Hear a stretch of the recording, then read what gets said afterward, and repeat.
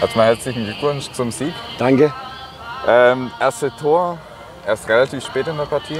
Knoten ist relativ, äh, ähm, relativ spät geplatzt. Wie siehst du die Partie?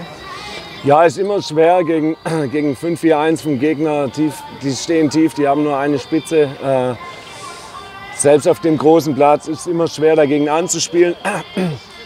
Ich bin trotzdem der Meinung, dass wir auch schon in der ersten Halbzeit gute Chancen rausgespielt haben ähm, gegen die Grundordnung. Äh, wir haben äh, an unserem Plan festgehalten in der Halbzeit, waren ganz ruhig. Der Gegner war in der Verlängerung am Mittwoch. Ich habe auch gesagt, die Räume werden jetzt größer, weil es für den Gegner immer schwieriger wird, äh, die Räume zuzulaufen. Äh, und dann hat es die Mannschaft dann auch gut gemacht äh, und wir haben uns dann belohnt. Genau. Ähm, heute Kevin Dickluber, erstes Pflichtspiel. Hat ja sich sofort sehr gut eingebunden. Ähm, wie ist so seine Position jetzt im Team? Wie würdest du es so beurteilen? Äh, also wir, wir haben gestern äh, ohne seine Anwesenheit eigentlich seine Laufwege schon mit einstudiert, äh, wie, wie wir, auf welcher Position wir ihn einsetzen wollen ähm, und wie wir die Angriffe dann vorbereiten. Und heute haben wir ihn eigentlich eingesetzt und es hat genauso funktioniert, wie wir es wollten. Äh, das war ganz gut und äh, mich freut es natürlich äh, vor allem auch für Malte, der, der auch viele dieser Wege machen musste, dass er sich selber belohnt hat und äh, in unserer WG Malte Kammer WG, da ist ja klar, dass wenn der eine trifft, dann kann der andere natürlich nicht kein Tor machen, weil sonst hätte er wahrscheinlich die ganze Woche Spüldienst gehabt oder, oder kochen müssen. Deswegen, jetzt hat jeder ein Tor gemacht, da können die zufrieden sein. Dickler hat auch sein Tor gemacht. Äh, wir sind froh, dass er bei uns ist. Nächste Woche dann äh, Ligaauftakt. Ja. Äh, Gibt es schon eine Startelf oder ist da noch sehr viel Bewegung drin in der Mannschaft? Weil jetzt ist, der Kader ist ja diese Saison ja doch sehr breit und es sind auch viele Nachwuchstalente dabei. Ja. Aber Also ähm, wir haben noch eine, wie gesagt, noch eine Trainingswoche, die, die ich sag, äh, die, Abläufe, die wir, die wir sehen wollten, die haben wir heute gesehen von den Spielern, die auf dem Feld waren. Ähm, jetzt kam Mio noch mal zurück, äh, das äh, verstärkt auch noch mal den Konkurrenzkampf. Äh, die Jungs, die jetzt heute in Stuttgart trainiert haben, haben auch äh, heute einen guten Job gemacht.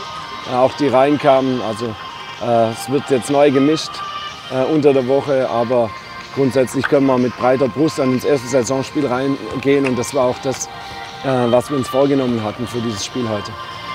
alles klar. Wünsche ich schon mal einen guten Saisonauftakt. Danke, Vielen Dank fürs Interview. Gell? sehr gerne auf die Blaue. Auf die Blaue. So, ich stehe jetzt hier mit Malte. Ne? Gutes Spiel, 3 zu 0 gewonnen, souverän, weitergekommen. Danke. Erzähl mal was zum Spiel. Wie Ja. war es aus deiner Sicht?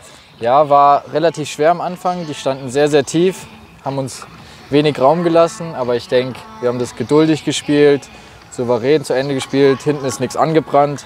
Und wir wussten, dass irgendwann brechen die ein oder wir machen irgendwie ein Tor. Und dann läuft das Ding schon fast von alleine. Ja, genau. Du sprichst an. War dein Tor, war ein Eigentor? Ich habe es nicht richtig gesehen aus meiner Position. Ja. Es war deins, oder? Ja, da kann man jetzt drüber streiten.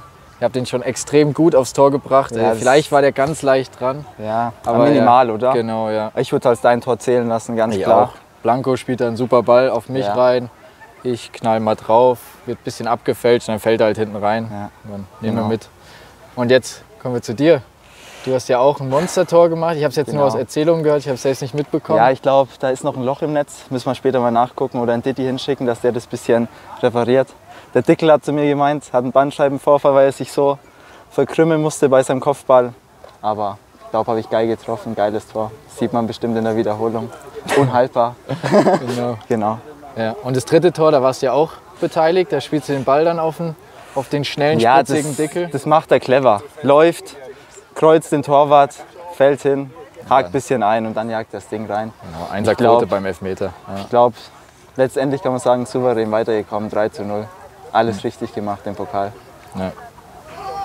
Auf die Blaue. Auf die Blaue.